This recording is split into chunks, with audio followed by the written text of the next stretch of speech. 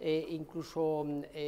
las reticencias que existían por algún partido de centro derecha como el ciudadano, yo creo que se están aparcando. A mí me parece que es, un, es un proceso lento porque mm, no tenemos que olvidar que probablemente a la, cultura de los pactos en Centro Europa y en otros países como los latinos, como perdón, como Italia, se ha llegado desde hace mucho tiempo, pero en, en el nuestro no era tan, eh, no ha sido tan necesario, digamos, un poco en el ejercicio de la política. A mí me parece un proceso de maduración. Y por otra parte tenemos que congratularnos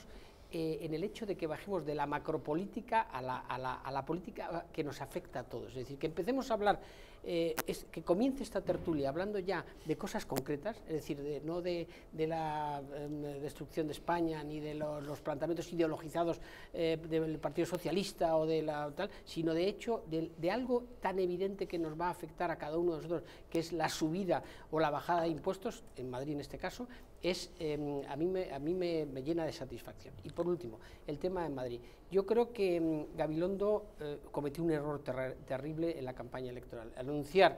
a la ciudadanía que iban a subir los impuestos, a mí me parece que le ha restado posibilidades reales que tenía en la comunidad. Y por otra parte, los, eh, las negociaciones que deben, de estar, eh, que deben de estar desarrollándose de una manera muy discreta por parte del Partido Popular, de Ciudadanos y de Vox, yo creo que tiene que llegar eh, debe de llegar a buen, a buen puerto porque el, eh, el icono, eh, la, lo que tú has llamado